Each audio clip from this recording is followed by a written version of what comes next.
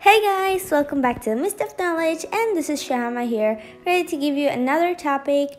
And today's topic is prime numbers in Python, which is, by the way, we are finding prime numbers between two numbers, which is one small number and another big number, and then you find the prime numbers. So first, I'm gonna write the hashtag. Um, it's nothing, just write take the input from the user. It's not really important. You can skip this part but I'm just writing it.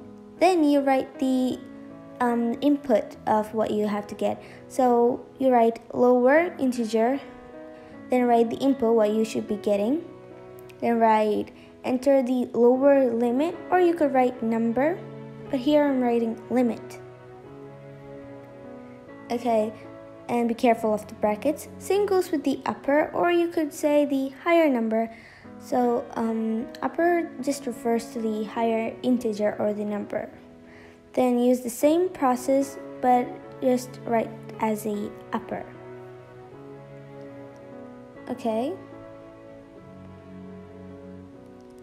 Guys, be really careful of the brackets, you know.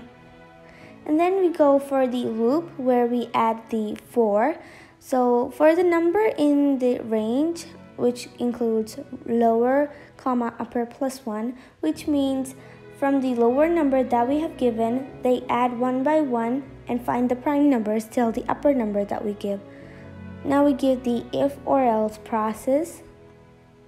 So if the number is greater than 1 um, again we give another loop which is for i in range or just it just refers to a number. Um, Let's give 2 and the number. We don't know which number it is. You just give a number. And then you write if um, if the number is mod by i, which means like um, you know, it just finds the reminder.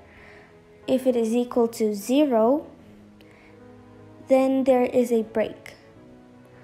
So we are we are finding the reminder and if it's 0, then type over there as break then you give if this process didn't work then you give an else you know like every if and else. Be careful to write this under for and write print num. Then save this project. I'm giving here like prime.py and then i go and run this project. Okay so i'm writing the lower limit 10 and upper limit 100 and we get all the prime numbers which are from 10 to 100. Each and every one, they just follow the process uh, by adding one and then find each and every number. Let's try with the easier one number, like um, run again and write 3 as the lower limit and the upper limit as 10. Then you get numbers 3, 5, and 7. So I guess this was useful because it is mainly useful for finding the prime numbers. Thank you guys for watching and don't forget to like, share and subscribe to my channel. Bye!